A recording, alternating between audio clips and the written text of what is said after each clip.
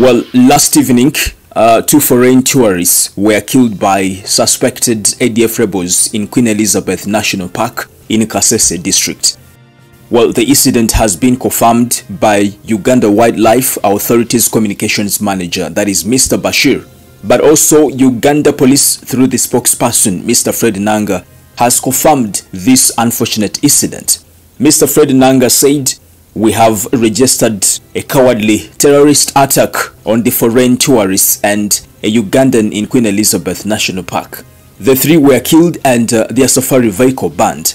Our joint forces responded immediately upon receiving information and are aggressively pursuing the suspected ADF rebels. We express our deepest condolences to the families of the victims.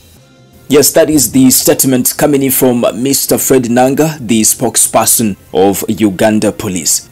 It should be remembered that this is the second ADF attack after the Omusinga wa Rwenzururu was released to his people in Kasese district. And by the way, I have seen some people on different social media platforms question that why are these attacks happening after the Omusinga was released?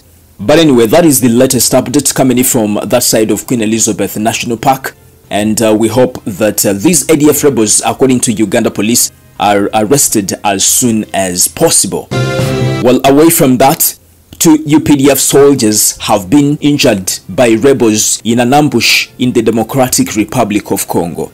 This information has been confirmed by the UPDF spokesperson Brigadier General Felix Kulayigye. He said the two UPDF soldiers are now admitted in critical condition at Kisoro Regional Hospital.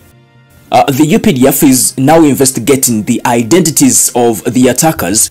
However, other reports have revealed that the attackers are part of the M23 rebels in the Democratic Republic of Congo. We wait for more details from the UPDF camp and I'll be keeping you posted on the Buzz UG. Well, my name is Melody Milo, aka Fuller. Subscribe and also tap on the bell for all the notifications. Don't forget to follow me on TikTok. I'm Melody Milo, aka Fuller. It is a bye for now. Thank you.